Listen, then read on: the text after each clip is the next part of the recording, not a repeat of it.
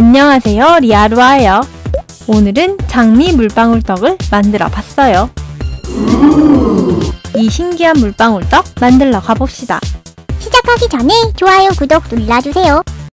우선 한천가루를 준비해 주는데요. 이건 대형마트에 가면 살 수 있어요.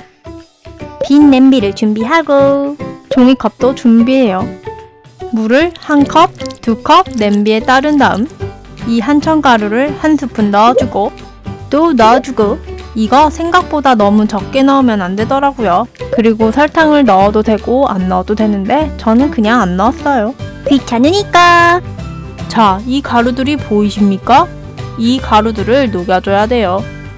중불에 놓고 거품기로 휘휘 휘저으면서 녹여야 돼요. 녹아랑 녹아랑 5분 정도 녹이다 보면 이렇게 물이 맑아져요. 이제 차가운 물이 담긴 양푼을 준비하고 방금 전에 끓인 냄비를 올려놔요. 이렇게 거품기로 휘저으면서 식혀야 돼요. 이 물방울떡에 가장 중요한 장미를 준비하고 몰드가 없어서 저는 집에 있는 이 그릇으로 준비했어요. 이렇게 손을 넣으면 다 들어가는 그릇이 좋을 것 같아요. 와인잔으로 해도 상관없어요. 그릇에 아까 끓인 걸 넣어주고 요 예쁜 장미도 넣어요. 장미를 여기 물속 안에 넣어야 되는데 에휴 근데 왜 이렇게 자꾸 붕붕 뜨는 거야? 냉장고에 5분 정도 굳힌 다음 다시 나머지를 부어요. 2시간 후 음... 왜 이렇게 불투명하지? 역시 쿠라가로 할 걸 그랬나? 그래도 만들었으니 꺼내봐야겠어. 근데 이거 어떻게 빼야 하지? 아, 이렇게 옆으로 빼야겠다. 과연 어떤 모양일까?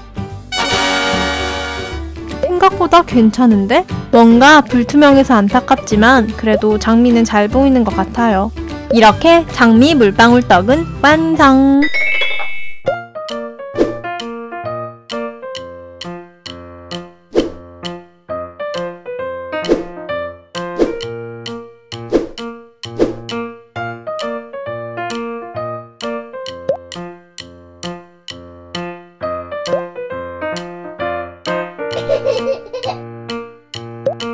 어?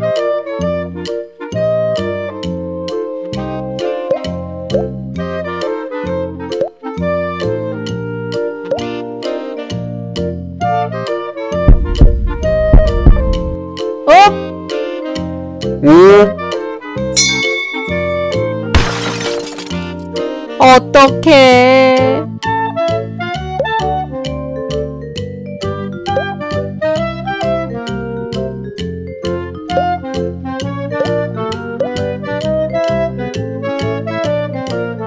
역시 실패는 성공의 어머니야. 저기 좋아요, 구독 부탁해요.